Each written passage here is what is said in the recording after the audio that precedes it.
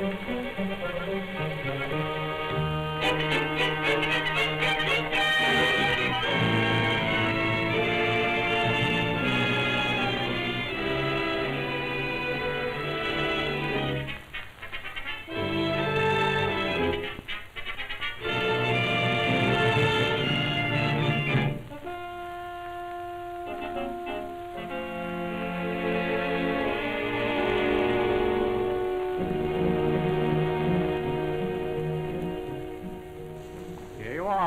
old boy.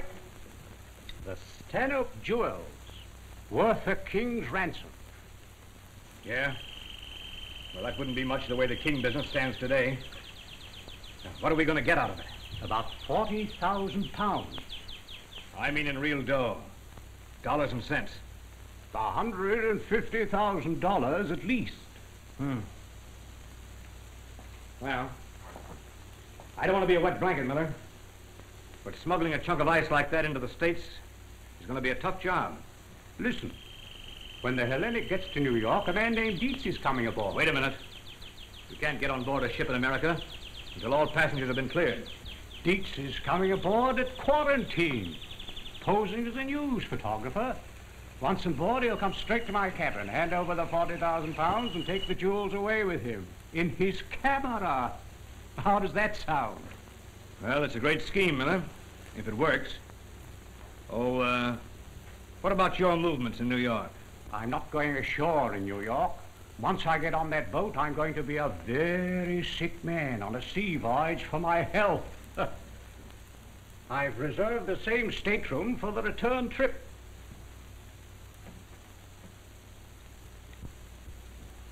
Uh, what about my dough? Do I have to wait till you get back? You can trust me. I'm what you call a square shooter. And so am I, brother.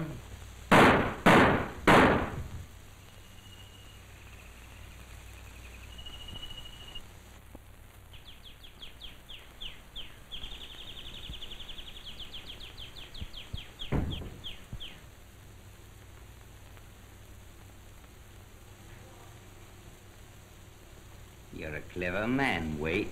Not Waite. From now on, it's Miller. Did you pack his trunks? Everything is ready. Mr. Miller? I'll take care of that. What about the passports? They're right here.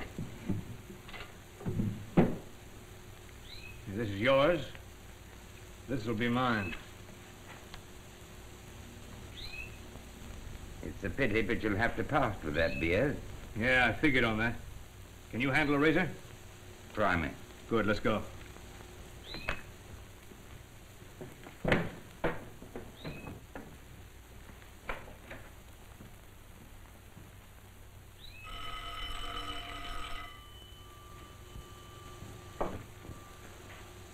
Was Miller expecting anyone? Not that I know of. You wait here. I'll see who it is.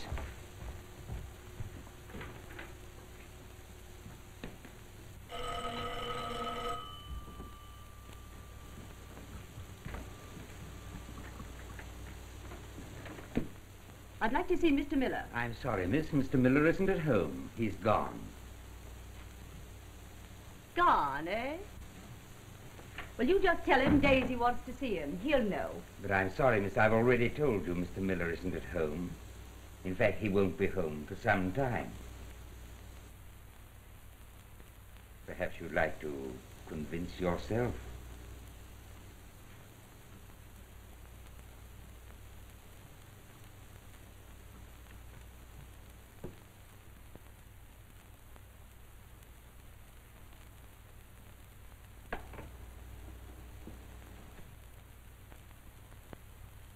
Well, the door's open.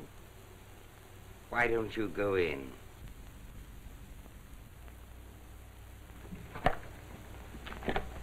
Ah, a pretty little thing, like you. And just as deadly.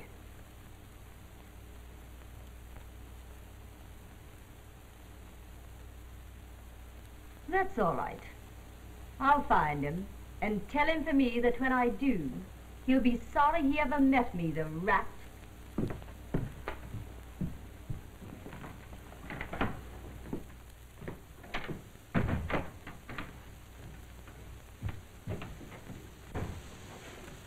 We've got to get out of here. Not fast. It's getting dangerous. That's the police. Worse, a woman. Oh.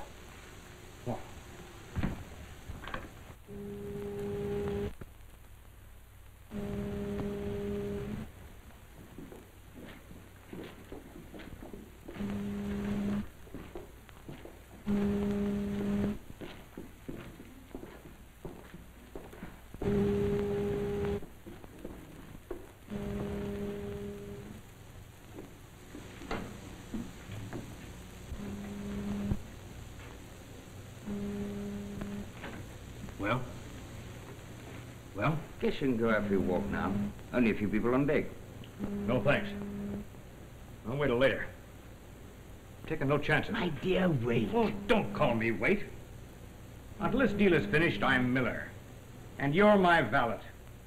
Is that clear? Yes. At your service.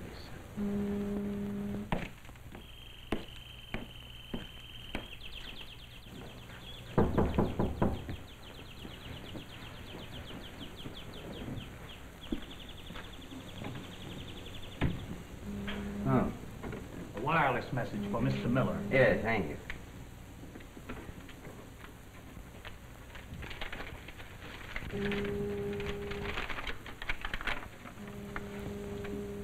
Well, what does it say? Mother, arranging welcome. Everything fine. Love and kisses. Say, what the... That's Miller code. Meet you at quarantine.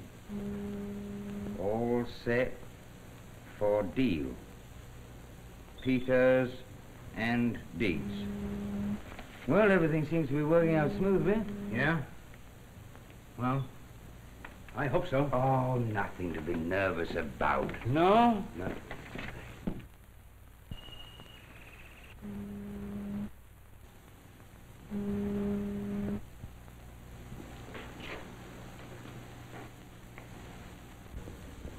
Take a look.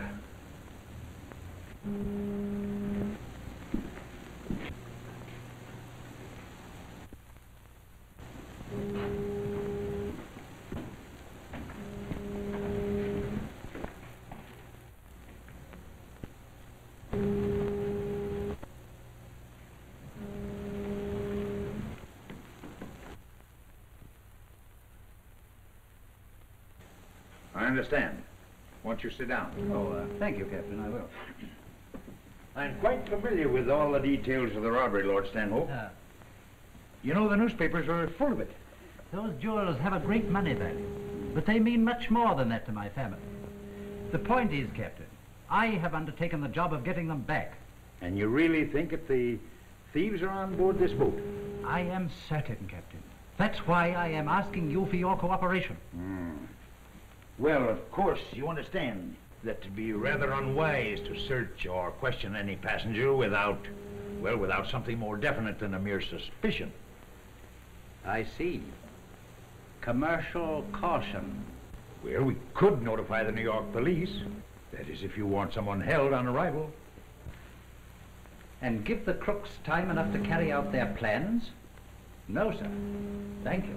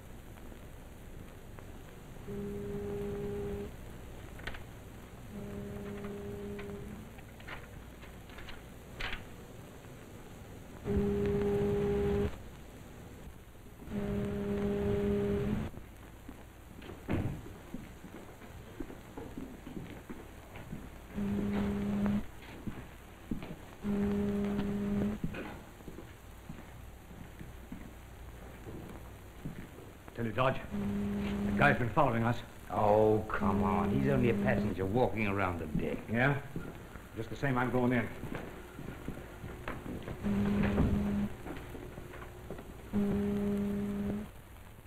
I tell you, I'm not going out there again.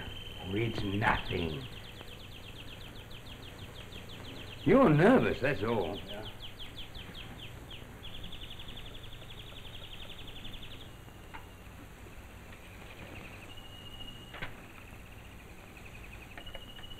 Dodge.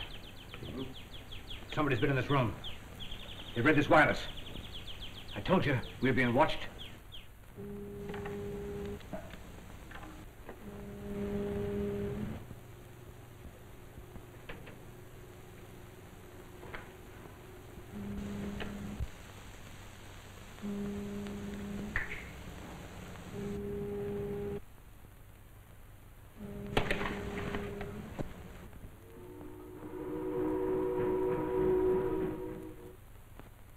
Get this, Dietz. The press boat meets the Hellenic at nine o'clock. Yeah, I know. This photographer's pass will get you on board. And this layout will help you find Miller's stateroom. I get you.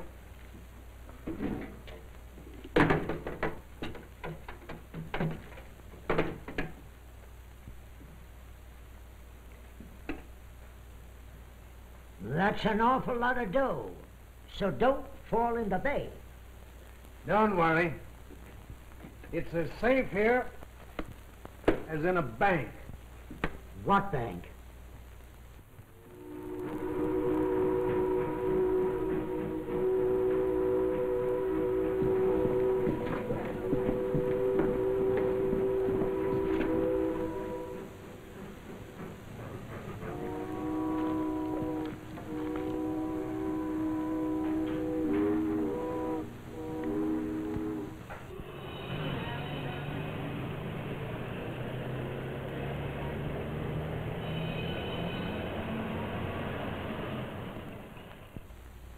Come on, Inspector. Buy a poppy and help the veterans. Sure. There you are. Cablegram, Inspector. Well, Doc, here's something right down your alley. Hmm. Listen. Body of man shot and disfigured beyond identification found yesterday in house owned by Ben Miller, whom we believe implicated in Stanhope jewel robbery. Stop. Lawrence Stanhope threatened thieves. Stop. Suggest you question him on arrival aboard Hellenic today. Scotland Yard. What time does the Hellenic dock? We're not going to wait until she docks. Hello. Inspector Carr talking. I want a police boat at the battery in ten minutes. Yes. We're going to meet that boat. I was going to his cabin to get his passport for the immigration, sir. Twice I knocks at the door, and he don't answer. So I'm thinking he's asleep, and I decides to go in. And blimey, when I opens the door, there he is laying face downward. Dead as a dead horse.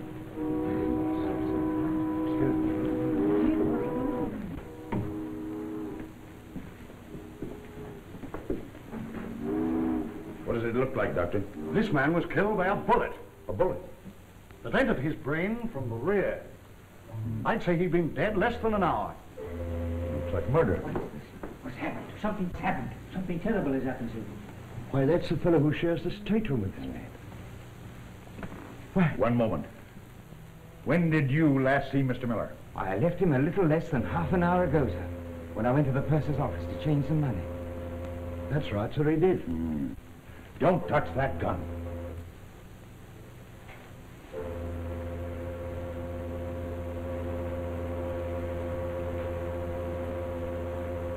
Radio of the New York police to meet us at the dock. This is their jurisdiction. Very good, sir. Purser. Yes, sir. Find Lord Stanhope. Bring him here at once. Very good, sir. Oh, Captain, there's a police boat coming alongside of us now. Very good. Do you know this man, Stanhope? I never saw him before I came aboard, sir. But this morning, out of a clear sky, He stopped me on the deck and asked me how Mr. Miller was feeling. I thought maybe he knew him, so I replied Mr. Miller was quite sick. Did you see where he went after that? No, sir. You see, I went on to the purser's office to get some change. That's right, sir. I changed a hundred dollar bill. Oh, uh, did Mr. Miller bring United States currency with him? Why, uh, why, yes, sir. I searched Stanhope's cabin, Inspector. Couldn't find a thing. Right. Did you bring a gun with you on the trip? Why, uh, why, of course. I never travel without one. Here you are, sir. Hmm. Well, it's a cinch that didn't kill him. No, Inspector. This is the gun we found near the body. Mm-hmm. Well, it looks like a woman's mixed up in this somewhere. Well, whoever did it, sir. Do you think they'd be fool enough to leave the weapon lying around? Keep quiet, I'll do the talking. Begging your pardon, sir. If you let me talk, I might have something to say. Shoot. Several times on the voyage, I seen a lady lingering out in front of the stateroom. I'm thinking it was the lady across the hall, in number 80. Doyle, bring in the lady in number 80.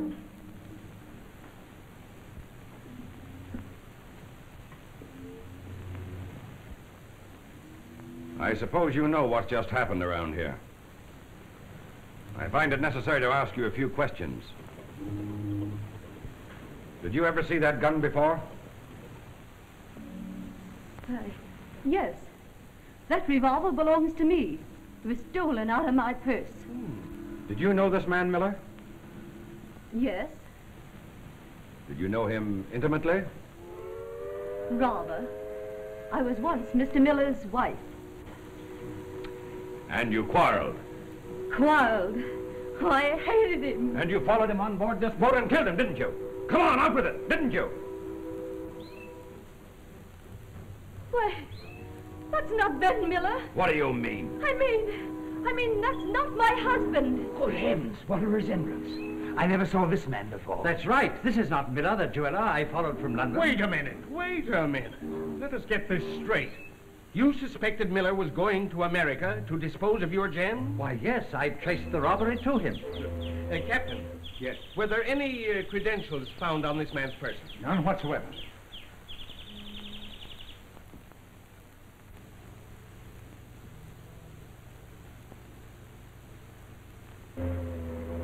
Inspector, just what does this mean to you? Holy mackerel. That man must have been in New York this morning. Exactly. And before getting on board this ship at quarantine, he must have bought a poppy. We'll find out who he is and how he got on board quick enough. Doyle, check up on the reporters that came out on that tender this morning. Right. You are the purser? Yes, sir. Would you be good enough to get us the hundred dollar bill that Mr. Dodge changed this morning? Certainly, sir. Dodge, where are the Stanhope jewels? Jewels? You heard me. Hi, Inspector. You don't suppose he'd be carrying them around in a suitcase? Well, it's a safe bet they've got them hidden somewhere. I'll have a thorough search made if you wish, sir. Thanks. If this man came on board this morning, where's the guy who was traveling in this cabin with you? But I've already told you. The last time I saw him was just before I went to the purser's office to get some change. Here you are, sir. The hundred dollar bill. Check down the reporters, Inspector. This bird's a photographer named Dietz. None of the newspaper gang ever saw him before. Okay. Examine that for fingerprints and compare them with the dead man. Right. All right. If you won't tell us about the jewels, maybe you'll tell us who the man was found murdered in Ben Miller's house in London the day you sailed. You know the man who was slashed up with a razor. Razor? Inspector.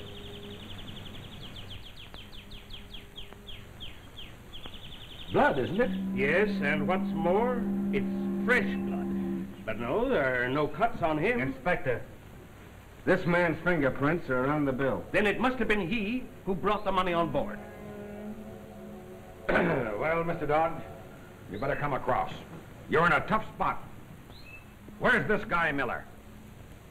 Wasn't Miller at all. His name was Waite. All right, come on, come on. You see, he... Waite double-crossed Miller and killed him. Then he came on board with the jewels. Where is he now? And I... I gave him a close shave this morning. You're liable to find him somewhere down the bay. Oblige me with the light, please. All right, come on now. Where are the jewels? In the bird cage. Doyle. Yes. You didn't like the idea of going 50-50 with this man Waite, so you double-crossed him, eh? Yeah? Before he double-crossed me with this crook from New York. Inspector, here are the jewels. Oh, there they are. That's the jewels, all right. I see. And when he came on board with the dough, instead of giving him the jewels, you gave him lead. Pretty crude. I had you figured out as a pretty tough hombre, Mr. Dodge, but I had no idea you were a one-man crime wave. Doyle. Yes. Send the gentleman's baggage to the tomb. Right. Inspector, what's the matter? What's the matter? What's happened? What's the matter? No. Doctor, doctor. Inspector. Poison. Well, I can say this much for him. He certainly took life easy.